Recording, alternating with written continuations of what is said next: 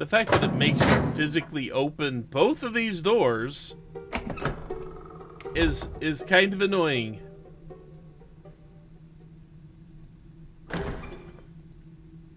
Okay, that's the one we were looking at. Yep. Okay, there we go. That looks kind of like the symbol. Yeah, it's a bird. It looks like. Bird, bird, bird. Bird's the word. But now that I think about it, that makes a whole lot of freaking sense. Ah, uh, yep. Okay, that is a that is a window, but I don't think it's the right one. It has to be. Doesn't want to go. You might have to zoom in more to let it go further. Yep, you do. Yeah, the telescope will only uh, will only go so far. Mm. Also, because once I get it centered, I'll need to uh, adjust the focus. Yep.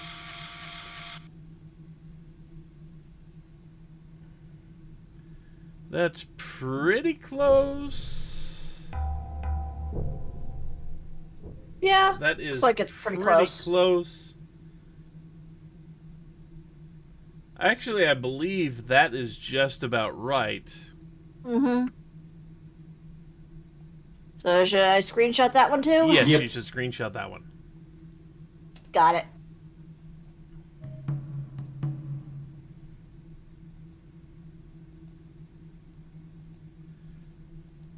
See, I would apologize for making the mistake, but in but actuality, you're going to be doing this if you ever play Myst for real.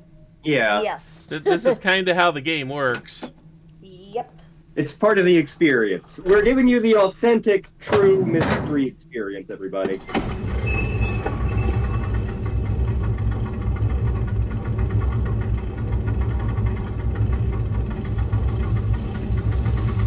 Do I need more popcorn? No.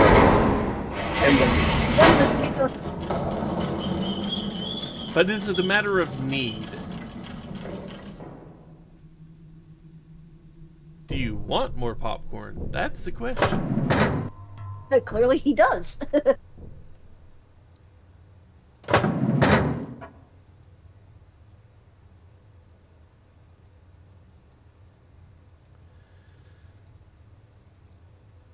It's almost like he didn't want her to see what he was doing. You didn't see anything. Sure, I did the right.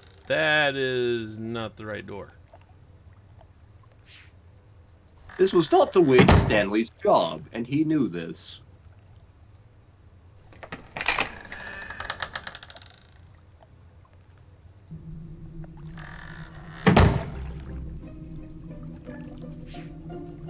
Glee. Glee. We need more squeeze. Star has caught Pachirisu. It's currently in a box. yeah, Star's been experiencing the Sinnoh games for the first time for people at home. Yep. Okay. Well, looks of it, the top one is between 11 and 12 o'clock. Okay, so yeah, like around there. Let's see. The second one looks like it's between seven and eight almost. I'd say it's right around eight. Yeah. Like, yeah, right in there somewhere. Yeah. Because remember, it's like you may have 12, 3, 6, and 9, mm-hmm. but you've also got 130, 430, 730, mm-hmm. and 1030.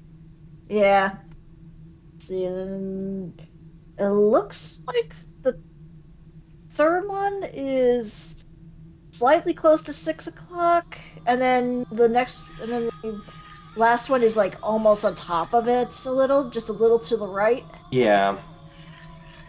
Like there ish. Yeah. Nope, that wasn't quite it. You're looking at the picture too. Yeah.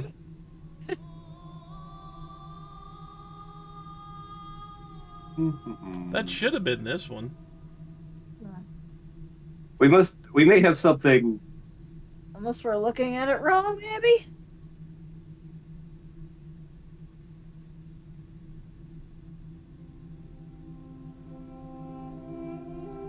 Mm-hmm.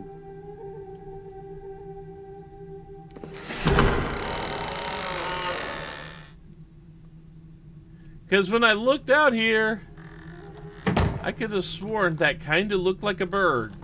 Yeah. Okay, so Yeah, looks. we we have the focus and the zoom off is the problem. Uh, Can't be off by that much. As it looked freaking right. good. And yet the funny thing is, the first time I did this, I had no problems whatsoever. LP curse. LP curse. The first time I did this, yeah, they everything just clicked into place the first time I said everything.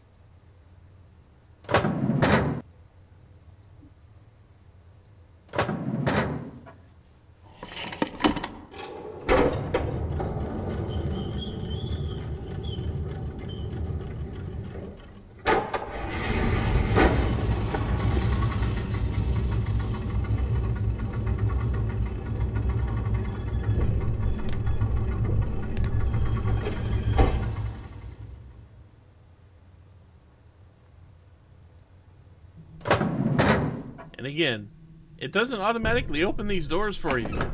I do not understand why. To give you like the realistic experience. I, guess.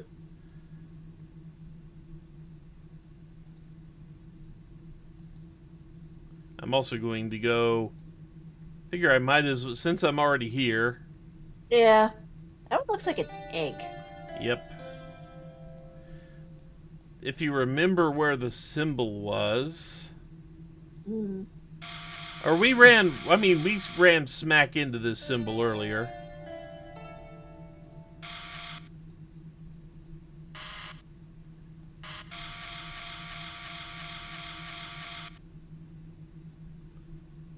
Okay, that looks pretty clear.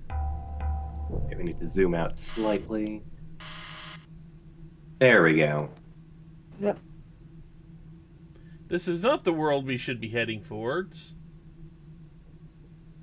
But if we can get it lined up now, Got a picture.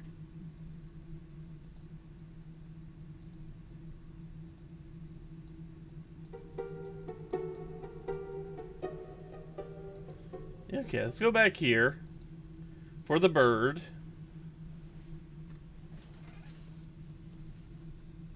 If both zoom and focus should be a little bit farther left.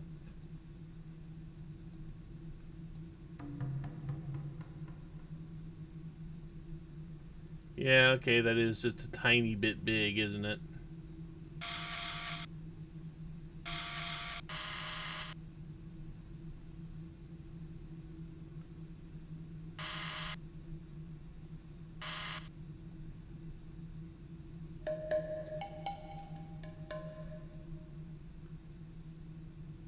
Pretty close.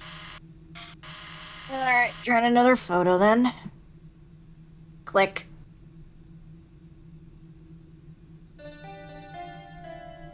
At least I think that's pretty close to where it should be. It's fairly close.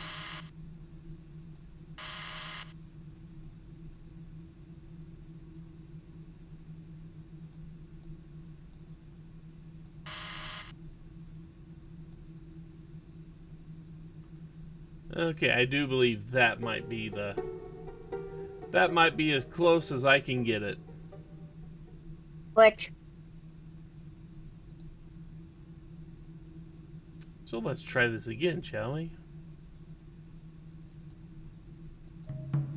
If the game will actually let me maneuver. Hmm.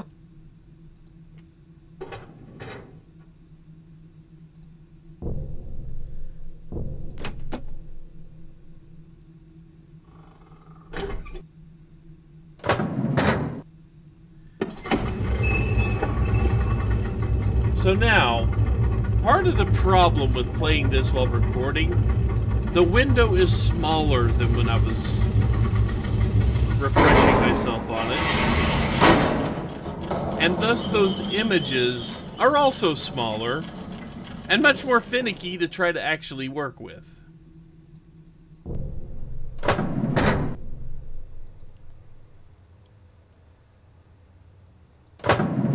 But if we fail this time, I'm pretty sure we can just find where the marbles should be on in the screenshot online somewhere.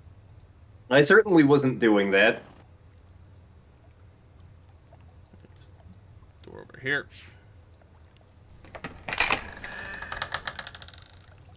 Atrus, you and your complexly designed houses that you keep things in. God damn it. What's why are you like this?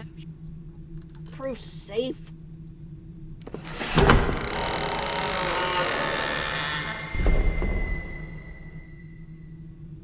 Sound like someone falling to their death there. That was one of the citizens of Releeshahn. Probably. Alright, trying this again. Uh, the top one is again between 11 and 12. The second one is almost smack dab between 7 and, or uh, 8 and 9.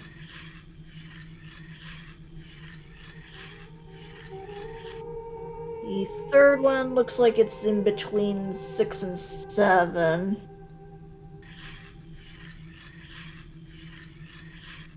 And then the last one is just like a little bit to the left of the last one. Like there-ish. No? Yes. There it goes. Because if I, I clicked on the button and it automatically it automatically worked. Okay. Yay! So we have found the linking book to Edanna. I've got a fire if you do. I'm sorry, gee. Atrus, but you've designed one of the worst goddamn worlds. And this comes up again in this four, unfortunately. But let's see what we're looking at. Let's see here. It's like it looks like a giant friggin' tree of some kind. It's kind of hard to tell from here. Hmm.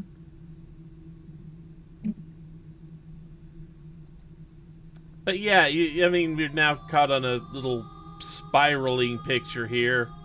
Mm-hmm.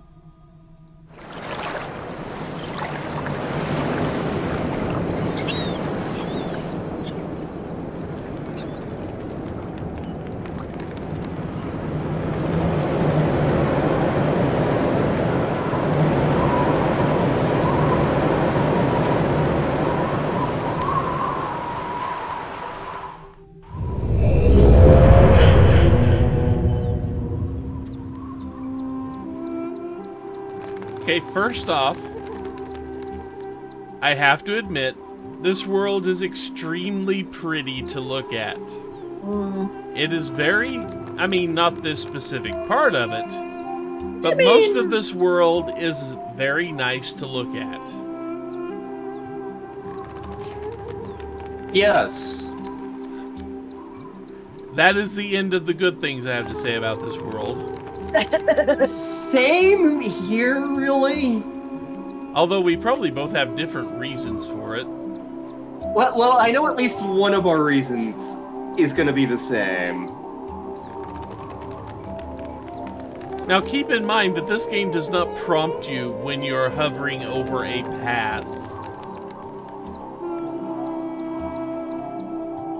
Oh, hey, there's a linking book back to J'nanin if we get frustrated and want to go back.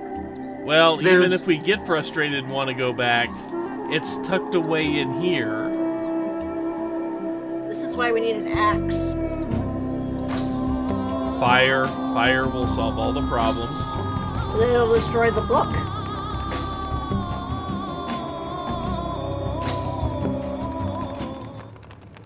You know, as long as we get to it, I'm gonna hit. I'm gonna do this because, dear God, this this music.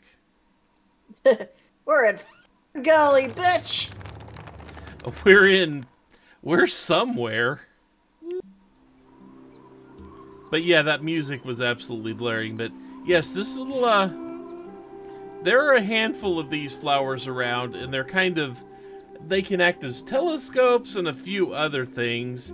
But you see, this one's pointing inside that tangled mess we're looking at. Mm-hmm. And that's where the linking book is, back back to where we came from. It's in there. We we have no way to get in there right now. And we won't until we finish the goddamn world. I know there's another linking book, just some random ass space in this age. Because, like, this wasn't designed to torture or anything. It's like, oh, this is a friendly lesson for my boys. Well, obviously. Well, it Tim- was until um Saavedro came along. Yes. He weaponized nature. He weaponized nature. Yeah. Nature didn't need the help, trust me. True. Have you seen Komodo dragons? that may have come up in conversation today. Yes. So there's not much we can do at the very start here. There's, I mean, we can go look at this and see. Yes, that that is in a way our end goal. In a way, because spoiler alert, we get dropped in there at the end of the place and we can link back home. I will have friggin' things to say about that. But again, this world is pretty, so so take in the prettiness. It- It'll get prettier, trust us, folks. We're basically in this giant ass tree in the middle of an ocean. Yep. How does it even work? That is an excellent question. Uh, what? Well, elaborate. What? What? What are you wondering about working? Like, how is a tree surviving in the middle of the ocean? Um, clearly it has a very long trunk, and it is adapted in such a way that it can handle salinated water. Also, did he just literally make an entire world that's just water and a giant ass tree? There are Yes. probably other. There are probably other giant ass trees here. Remember, he didn't make the age; he linked to it. Hear something. It's coming from There it is. You're not wrong. Kevin! Hey, Kevin! You got smaller! Oh, oh, don't worry. It's just very far away. Yeah, it is just very far away. That that is a significant distance. yeah, yeah, there is a lot of bird right there. Yes. Is this why you hate this age? No. Well, yes, but no. What do you got against Kevin? So, so if you look through the journal Atrus gave us, each each lesson age has a different little phrase associated with it. Edanna's is nature encourages mutual dependence. Oh, hang on, I think I saw it. It'll be bolded somewhere. Let's see. I think I know what page it's on. Six, eight. Nope, that's not it. Nope, that's energy powers future motion, I look like. Yep. Nature encourages mutual dependence. Back Yep. one. Yep. There it is. Yep, there it is. But he's also mentioning the Channelwood. Yep. If you recall Channelwood. channel wood from the first game. Did. I hear the tree growing. You hear the tree growing, yes. The hell? I'm not even gonna say what I think that is. It looks Real work. For the safer work version, it looks like a giant freaking eyeball. For all the world, that looks like a giant freaking eyeball. Yeah, that's fair. You know what? I- I'm gonna make this joke because we were talking about things between recordings. But this isn't the age of ball. Suraht knows exactly what I'm talking about. Yes, I do. And that was well, that wasn't even between recordings. That was before recording. Yeah. I was having trouble remembering the names of the ages.